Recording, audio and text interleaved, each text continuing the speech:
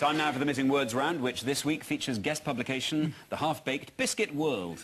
There's a real cracker on page three. no, really, there, there is. So let's start with availability of rich Highland shorties affected by what? Ronnie Corbett moving south. Sorry,